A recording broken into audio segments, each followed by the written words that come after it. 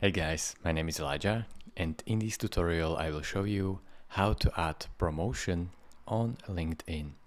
So first, go over to your profile and in order to get there, go over to right here on me and then click on view profile. Scroll all the way down until you see your experience section.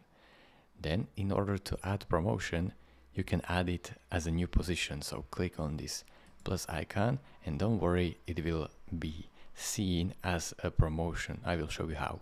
Click on add position.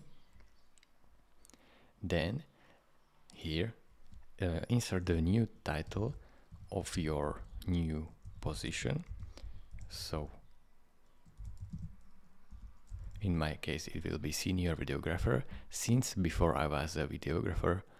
Then press employment type full-time as before then uh, this is essential.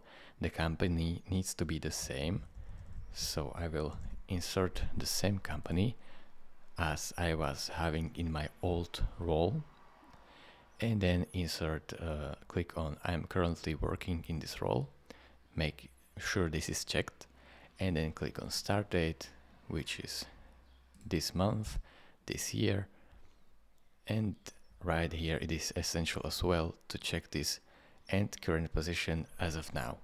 So make sure this is checked and then press save. As you can see now click skip right here.